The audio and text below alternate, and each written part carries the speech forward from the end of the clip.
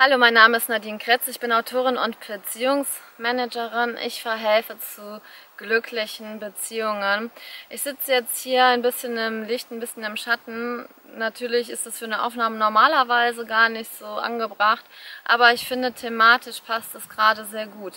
Ich möchte nämlich über ein Thema sprechen, was heutzutage immer noch sehr unterm Teppich gekehrt wird oder das vielen gar nicht klar ist. Es geht um Gewalt von Männern gegen Frauen, die alltägliche Gewalt gegen Frauen, wie sie ständig auch passiert und immer noch.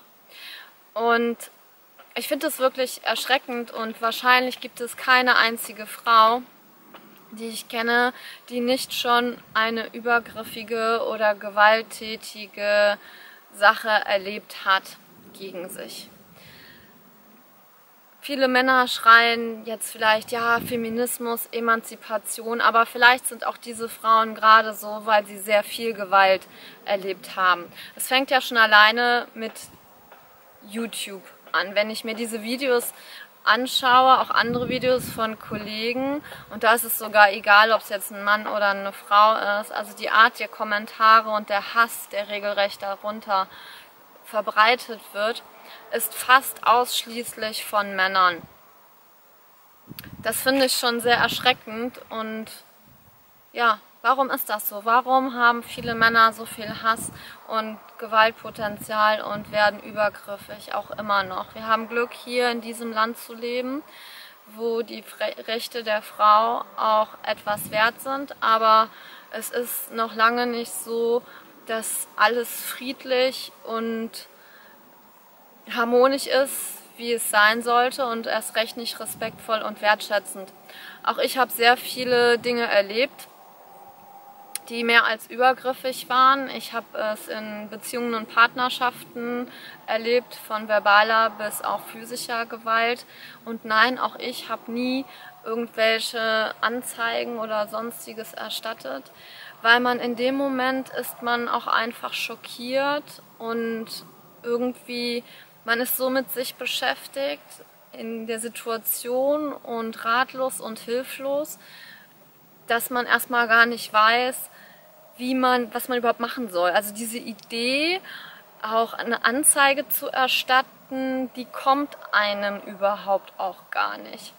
Ich habe auch erst ähm, viele Jahre später erst darüber auch mal überhaupt mit jemandem darüber gesprochen, als ich es dann auch aufgearbeitet und verarbeitet hatte.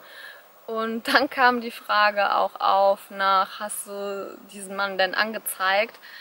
Und tatsächlich nach all diesen Jahren mit dieser Frage ist es zum ersten Mal überhaupt bei mir aufgetaucht, dass das eine Möglichkeit gewesen wäre. Und so machen das viele Frauen nicht, weil die Situation in dem Moment schlimm genug ist, dass man erstmal schauen muss, wie man da überhaupt rauskommt. Ich habe auch zum Beispiel in meinem Buch über eine Situation geschrieben. Ich bin immer sehr viel verreist und habe dann auch sehr viele Situationen erlebt und auch sehr viele Gefahrensituationen.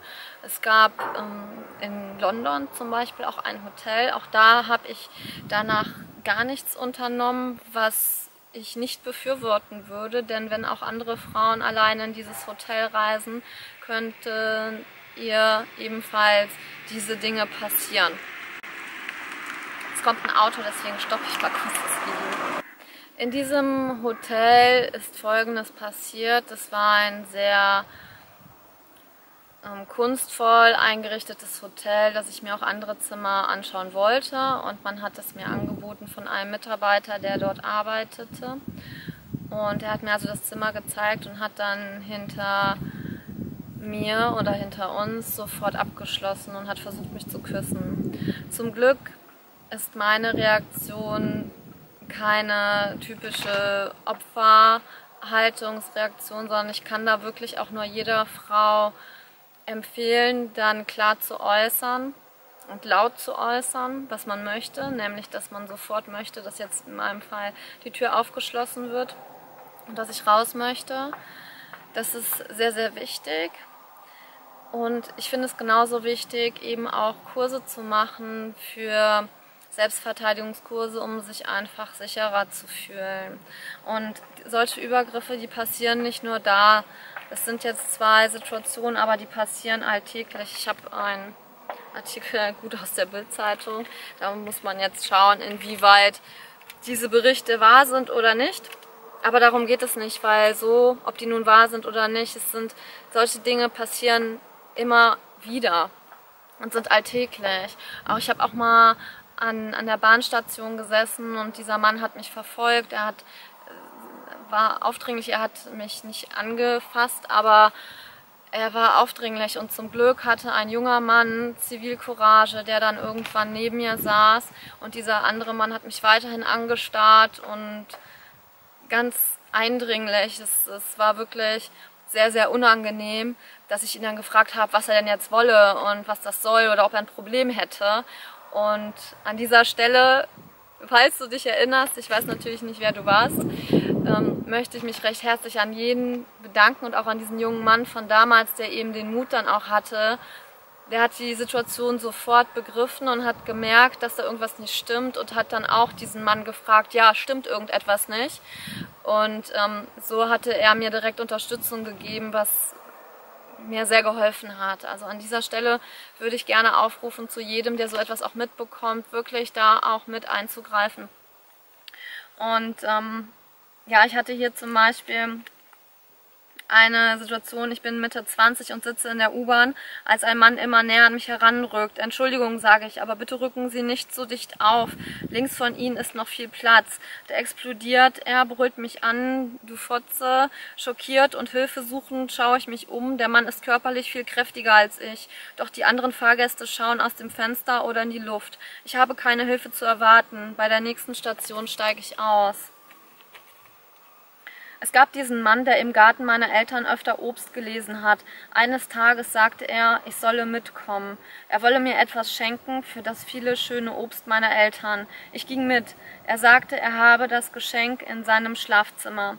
Ich folgte ihm. Er holte eine kleine goldene Uhr aus seiner Nachttischschublade, sagte, sie sei von seiner Frau.